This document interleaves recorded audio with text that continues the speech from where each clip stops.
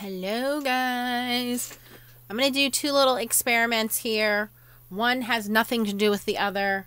My kids rejected my offer to go out to the drive-in movies tonight, so I have taken it upon myself to take all this uh, energy and put it into making videos today and making stuff. So anyway, first video has to do with texture paste and foil. So you guys have probably seen my video on foiling and all the things you can do with it. If not, I'll link it at the end here.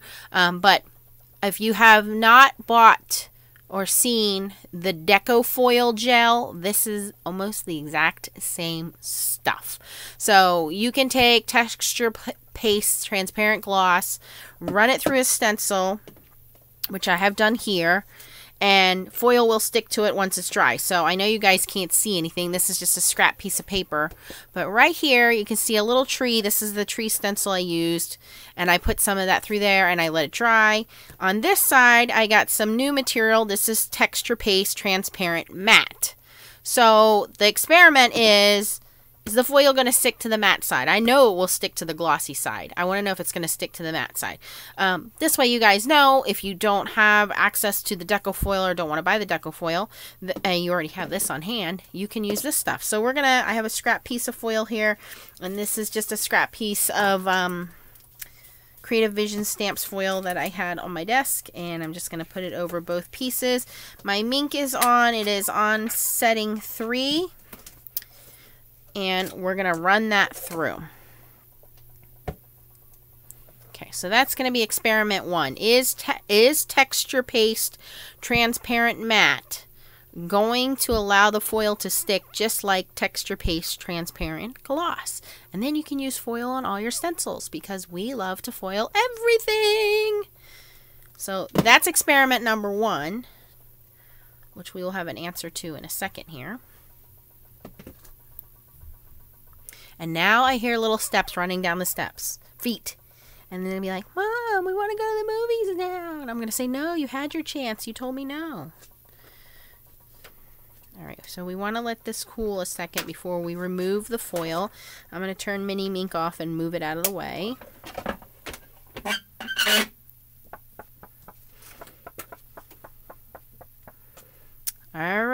So I know it's going to stick to the glossy side. Let's see if it sticks.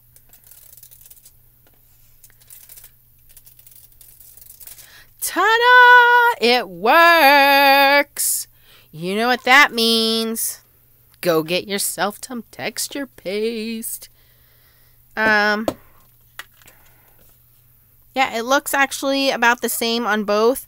I think this is a little messy over here because I did not clean my stencil off. I just moved it over and used the other embossing paste. But um, I don't see a difference. It's stuck on there. Great. So, experiment number one, success. We don't need to buy Deco Foil Transfer Gel. We can use Texture Paste Transparent um, Texture Paste from Ranger. So there you go. Good idea on that. Um, Second experiment, I was watching the lovely and talented Mr. Tim Holtz on, uh, I don't know, one of his channels, and he has now um, come out with ink, ink lifting, alcohol ink lifting. I don't know what it is. Anyway, I'm just a little curious if we can make our own, because you know me, I can't wait for new stuff to come out. And if I can make it myself and save some money, why not? So I have my Yupo paper, which is very difficult to find these days, by the way. Um, I picked this pack up at Blick Art Stores, and it's uh, large, 10 sheets, and this is the white, not the vellum. Okay, so I've got a couple pieces of scrap paper here.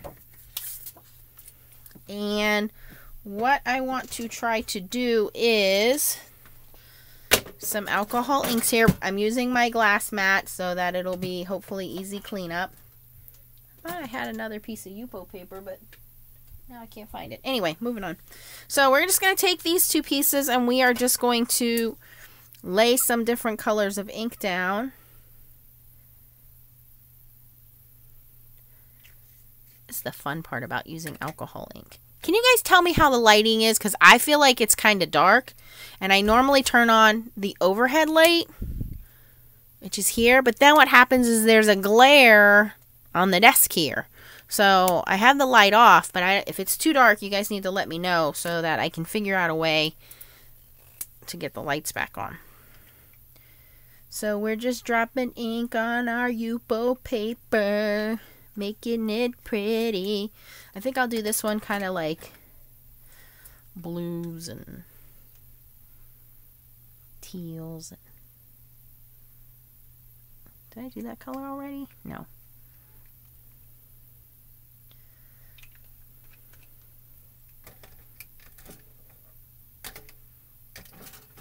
Can't do alcohol ink without staining your fingers.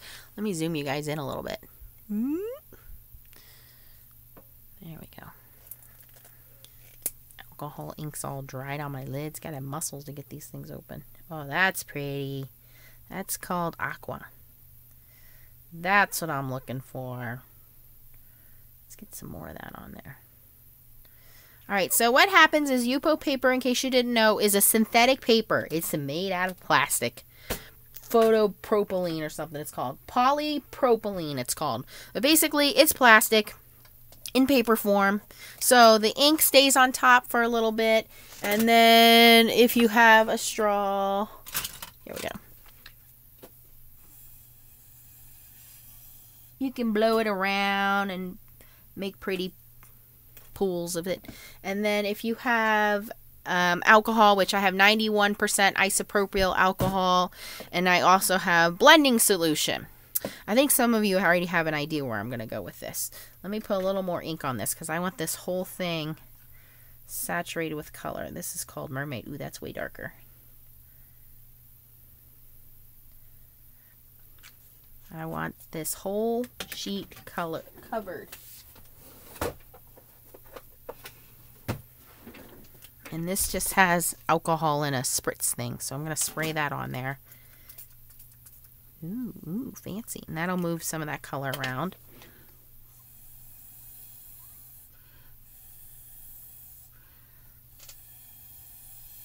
At this point, if you wanted to put foil on there, it would stick on there and look pretty cool. Maybe we'll do that in a second, but that's not today's video.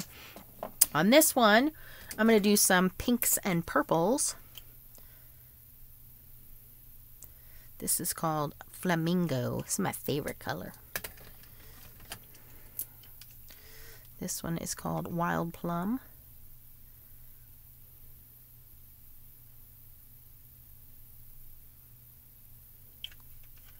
Pretty. Um, pink sherbet.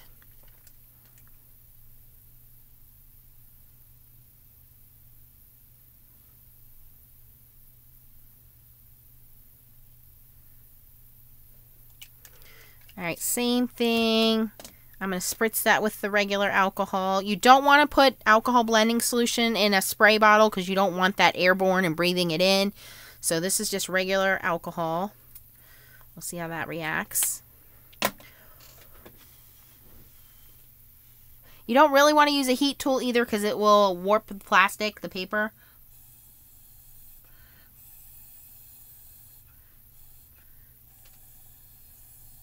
Now, alcohol inks do tend to dry pretty quickly. Um, an easy way to clean them up as well is to use alcohol wipes or a little paper towel with some alcohol on it. So what we want to want this to do is to dry because my experiment is going to be, let me zoom you guys out here. And if I can get my camera straight here, is um, I'm going to put some alcohol and some blending solution, two little puddles over here on my media mat. And what the experiment is going to be is can we lift that ink with a stamp, I just have a little seahorse stamp here, off of these alcohol inked panels because Tim Holtz was able to do it with his alcohol ink, alcohol lift ink, alcohol, I don't know what you call it. So I want to see if we can do it. And if it works, I don't see why you couldn't take a empty ink pad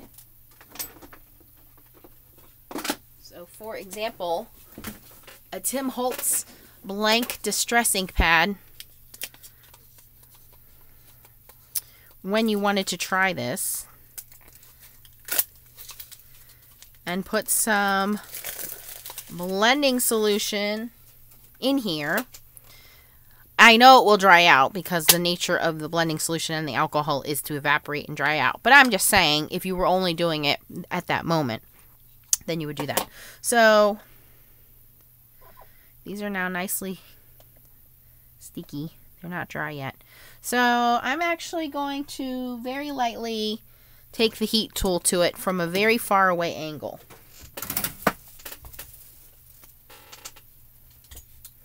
Heat tool up here, papers down there.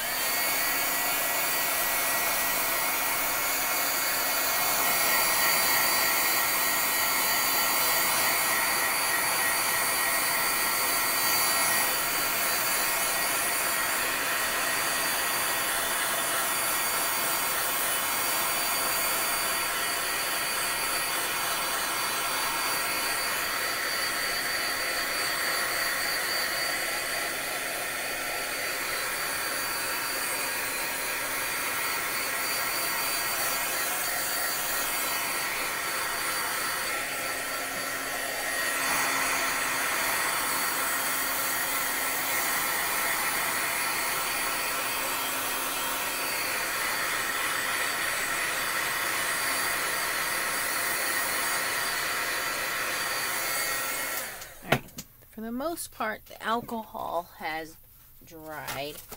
I'm going to blot some of this excess off because I want to move this along here. Ooh, that's kind of neat.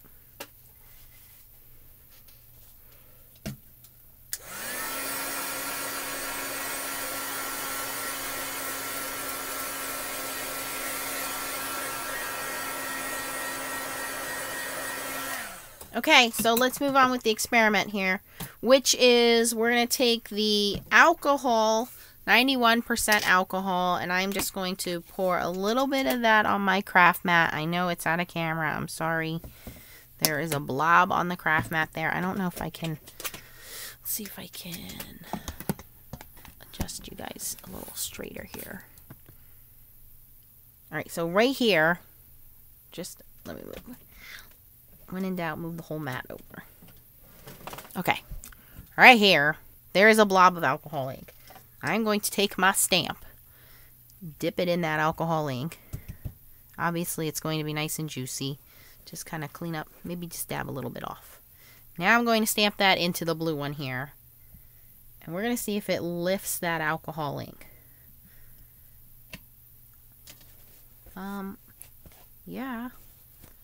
Now, I think because this is so liquidy and gooey, so maybe that's the difference. Maybe with the Tim Holtz stamp pad, it's not that way. Like, it's got a little more body to it. That's how the ink works. I don't know. I'm just trying out an experiment here. This may or may not work for us. All right, now I'm going to try the blending solution. And you know what? What the heck? I'm just going to pour it in this distressing pad because I'm not using it anyway. And worst case is it dries out. So I'm taking the blending solution, dumping that all in here, making my own blending solution ink pad. Same concept. Ooh, that's going to turn colors now because I have blue alcohol ink on here.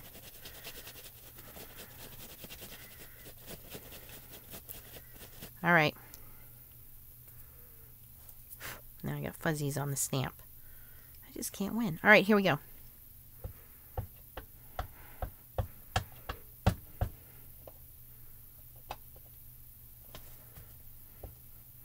Stamp pad is moist. You can feel the solution on there.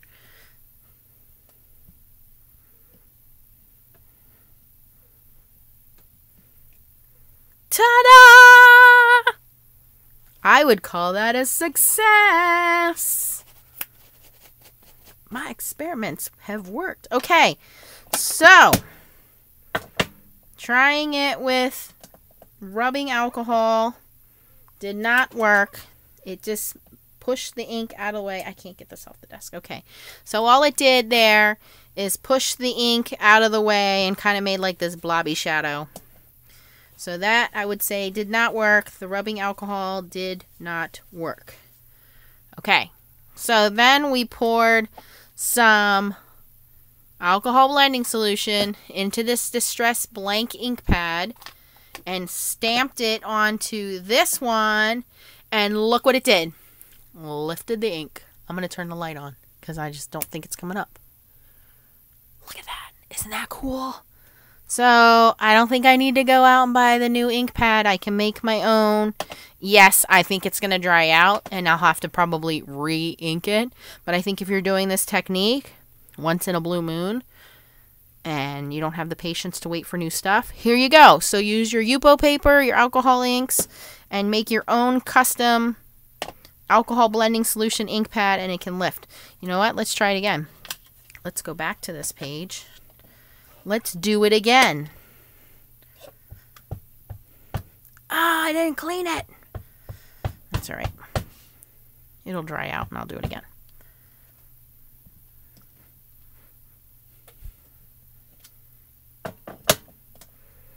There we go. It lifted that ink right off of there. That is so cool. I mean, you can see the detail down to his little eyeball there. That is so neat. I want to thank Mr. Tim Holtz for his fabulous ideas and products.